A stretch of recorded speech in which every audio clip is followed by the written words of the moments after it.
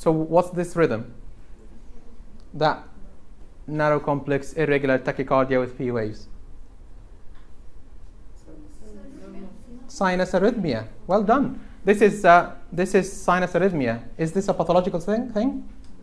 No, this is a physiological thing. This is not a patient. This is a relative of a patient who wanted to have an ECG. So this is normal physiological phenomena.